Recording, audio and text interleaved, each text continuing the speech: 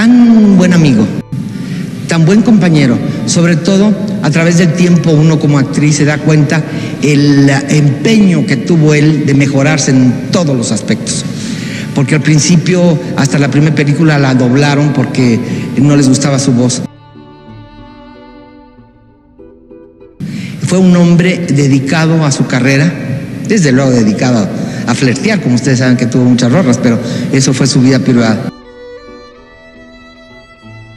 Eh, en la vida de él como artista, no creo que exista ningún compañero que diga algo mal de él, porque fue siempre un gran compañero, una gran persona, un ser, pues de esos que nacen de vez en cuando. Que Dios los tenga en su gloria y sobre todo, Pedro, sabrás que pues para nosotros nunca has muerto, sigues viviendo y sigues dándonos la dicha de tu voz y de tu presencia.